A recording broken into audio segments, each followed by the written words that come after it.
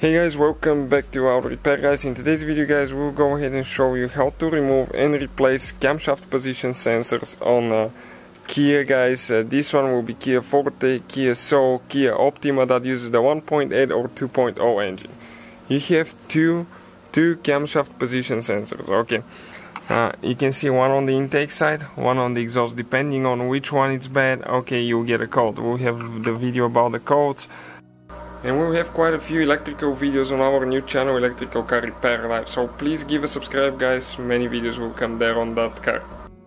So we need to go ahead okay and remove that uh, that bolt right there. You can see 10 millimeter socket.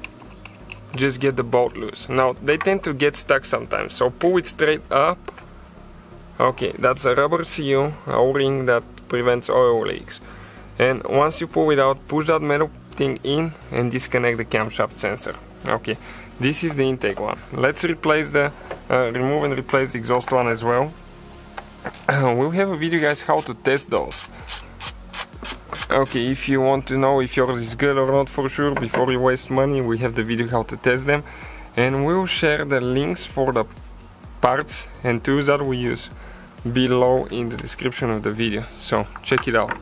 Same thing remove the bolt pull it out disconnect the wire. Okay and this is the exhaust camshaft sensor right here. You can see Hyundai Kia so both of the sensor sensors have uh, the same part number so they're interchangeable. It doesn't matter which one you install where.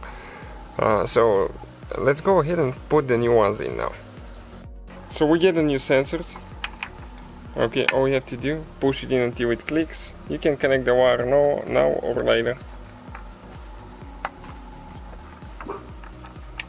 okay we need to install the wires. And we have one on the other side now as well.